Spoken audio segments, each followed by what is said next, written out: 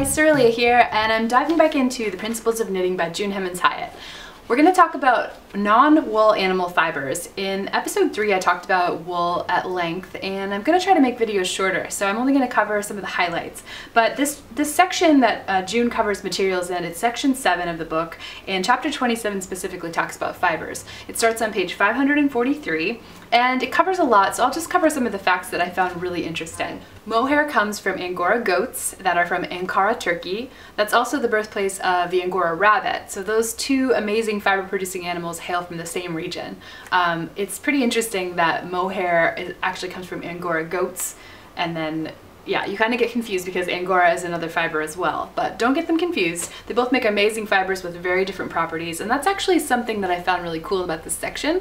June addresses you in a way that kind of, it can cater you even if you're not a knitter. So she tells you how the fiber is processed, how it's produced, and how it's spun for, you know, to highlight the qualities and, and diminish the, the negative aspects of each fiber, because um, there's pros and cons to each fiber. So she talks about that. And then she also talks about uh, what you should use it for. You know, there's some fibers that are not appropriate for certain projects, like a high wear item like a sock.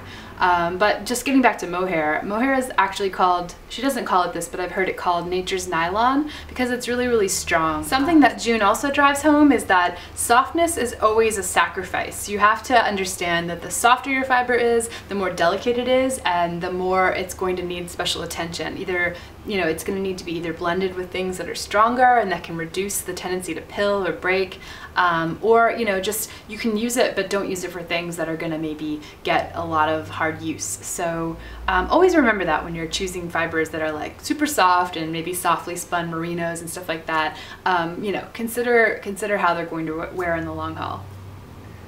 A fact that I thought was really cool was that vicuña and guanaco from Peru are wild and they were actually almost uh, extinct because they were hunted so much. So in the 1960s the Peruvian government decided to protect them and um, now they are shorn twice a year and their fibers are incredibly rare and precious and that's why they're so expensive. They're also actually sometimes more soft than cashmere. The micron count is finer. So just something to know about micron count too. The higher the number, the coarser it is, and the lower the number, the finer it is. So cashmere, merino, those are all around like 13 to 19, 20 maybe.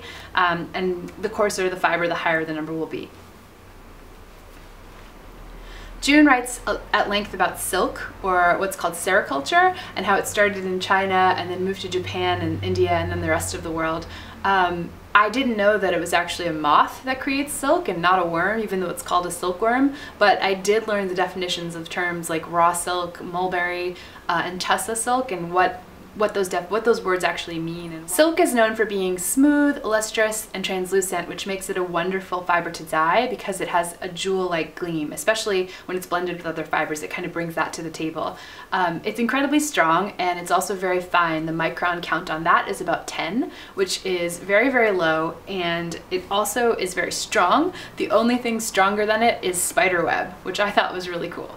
I learned a few new words in this section. One of those was medulla, which is actually one of my favorite Bjork albums. It means a hollow core, and it it's a hollow core that's found in hair-like fibers like alpaca um, and actually possum down, which is what Zealana uses for its yarns.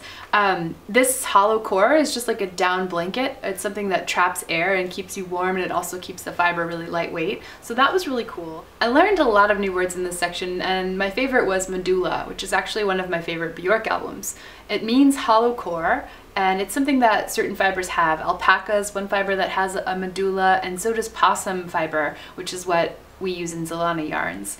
Um, the hollow core basically traps air and creates a really warm fiber, and also something that's really lightweight. Um, so that's really cool. June discusses the fact that you can't really dye possum. It's always going to retain sort of the, the taupey brown that it has. Um, it can't it can be bleached uh, to a point and then it can be blended with other things, but it is always going to have a distinctive sort of um, smoky brown halo, which I love personally. Uh, June says in the book that possum fur is only blended with merino wool, but that's actually not true. Um, we do have merino blends. We have heron and rimu and a few others, um, but we also have blended it with silk and cashmere and cotton in one case. So those are some yarns. I'll write more about them on the blog.